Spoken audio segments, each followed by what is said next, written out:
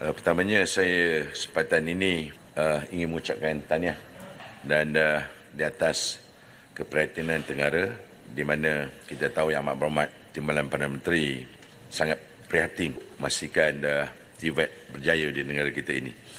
Kementerian Sumber Manusia ke Suma melalui Perbadanan Tabung Pembangunan Kemahiran PTPK di bawah telah memberikan bantuan pinjaman latihan kemahiran kepada para pelatih TVET yang mengikuti khusus latihan peningkatan kemahiran jangka masa pendek dan khusus pensijilan profesional atau dengan izin Professional Skill Certificate.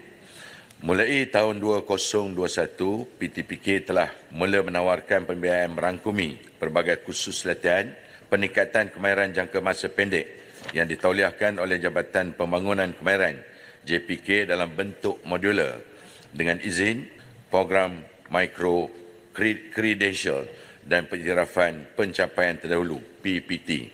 Khusus yang ditawarkan berfokuskan kepada set kemahiran spesifik dan dilaksanakan secara berpakej dan nilai tambah dengan persijilan profesional.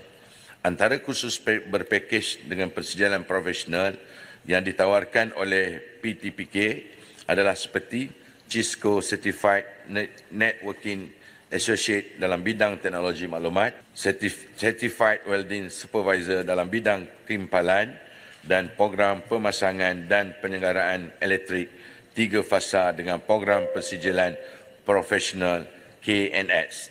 Dari tahun 2021 hingga 29 Februari 2024, seramai 8,316 orang pelatih telah mengikuti program Sijil Kemahiran Malaysia SKM yang disanakan secara berpakej dengan persijilan profesional dengan pembiayaan berjumlah RM68.44 juta. Terima kasih.